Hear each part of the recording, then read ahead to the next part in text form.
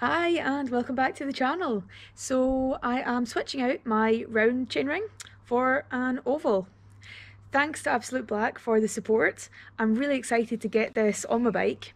Oval chainrings have been around for a while but they're really getting more and more popular these days and I'm looking forward to, to trying it out. So I want to just have a chat about the difference really, what, what is the difference between a round and an oval and then we'll take it on the trails and give it a, a shot, see what how I actually feel the difference is. So let's get this on the bike. Okay, so now I've got the chainring on the crank. Let's have a look. So Absolute Black have put a load of research and science into this, which is worth checking out their website if you want to see the detail.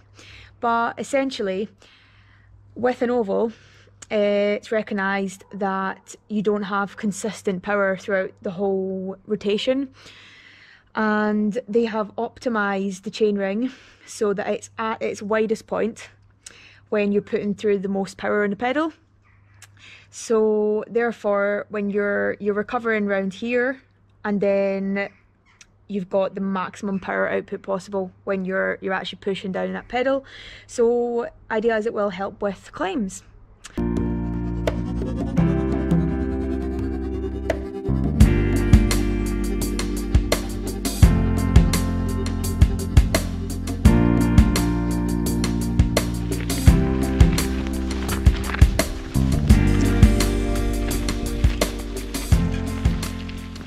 So how is the oval? Pretty good. First couple of pedal strokes in the car park, I noticed it was oval. It was so weird. But then by literally the third or fourth stroke, it felt like normal. On the fire roads, it's nice and smooth. I don't think that's where you're going to see the biggest difference. I think it's going to be on the climbs where it might be a bit looser, a bit more techy. I found that it's easier and more consistent putting power down and yeah it just feels really smooth so I am impressed I'm very glad with this decision. So I've been running the chainring with the chain guide as you can see it just mounts directly on here and I've also got a, a bash guard integrated as well which is ideal for the, the rock strikes which unfortunately I do have a few of. So you can run it without, I just prefer the extra security, uh, especially when racing etc. I just don't want to have any chance of that chain dropping at all. So that's me been running this now for about six weeks.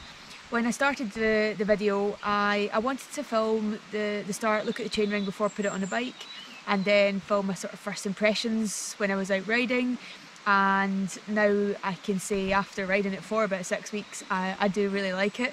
I have found it a lot smoother. I've been riding it on loads and loads of different types of stuff, different places and it's it's great. I definitely won't be going back.